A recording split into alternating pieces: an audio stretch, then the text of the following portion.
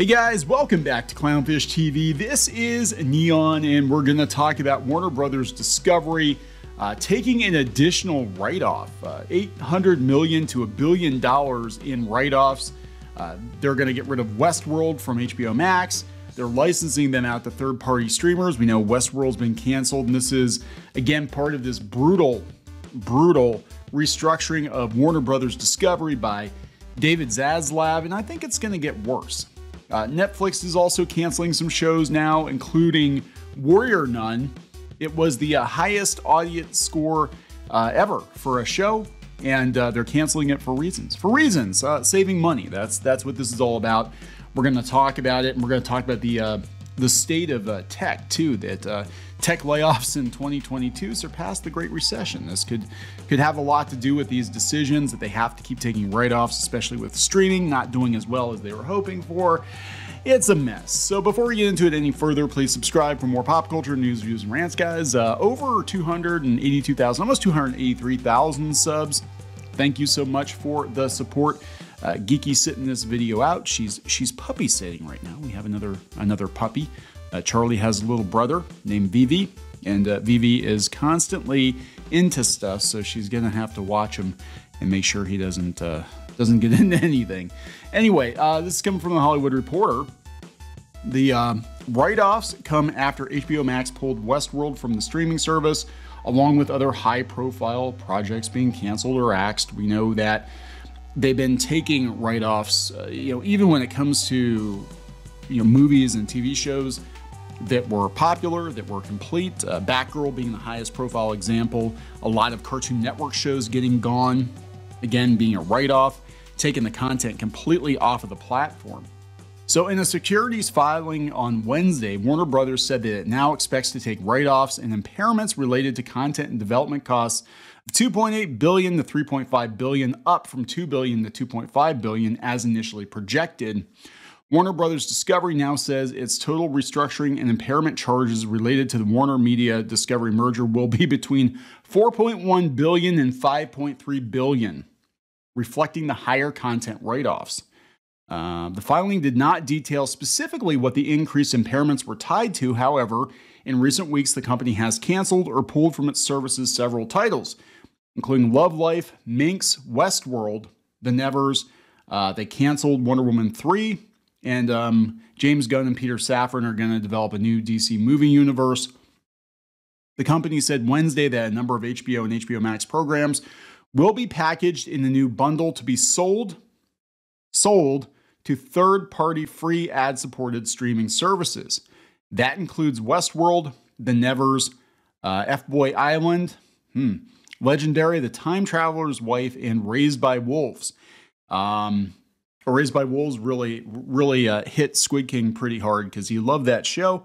And it sounds to me like they have no intention of continuing it. They're just going to dump it onto some other streaming platform like what, Tubi or something? Freevee? I don't know. We are incredibly proud of Westworld and the remarkable work of our cast and crew. The creators said, We're excited to have the opportunity to welcome a whole new audience to our show. I don't think you're getting any more, though. Uh, meanwhile, a number of other shows will come off the HBO Max platform, and the company is speaking with the studio partners about opportunities to further expand the reach of the shows, including but not limited to licensing series to third party fast platforms. I think that's ad supported. These shows include the Gordita Chronicles. I've never heard of it. Love Life. I've never heard of it. Minx. No. Made for Love. Nah. No. No idea. The company says its restructuring cost estimates are not changing at this time. It said in October those numbers could be adjusted. Uh, since completing the merger in the spring, Warner Brothers Discovery has been aggressively looking to cut costs, both through restructuring operational savings, like combining its physical footprint and condensing the number of contractors and software providers it uses, as well as in content write offs. The company is able to receive a tax benefit on the write downs, though in some cases it could opt to resell some content elsewhere. Now, I don't know if they're going to uh, send any of this to Netflix because there apparently is an issue with Netflix not wanting to pay Warner Brothers for content it has licensed, like Sandman from DC Comics. Uh, the word is we did a video on this the other day that it's taken them like two years to get paid Warner Brothers, they want money now. They want it now. Um, speaking of Netflix, though, they're canceling their own shows. They're canceling more shows. They're announcing more live action anime adaptations.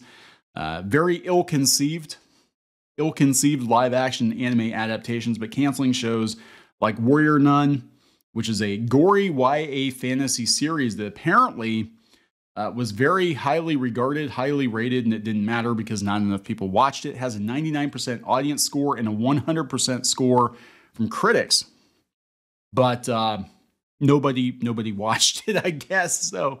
So it gets canceled, right?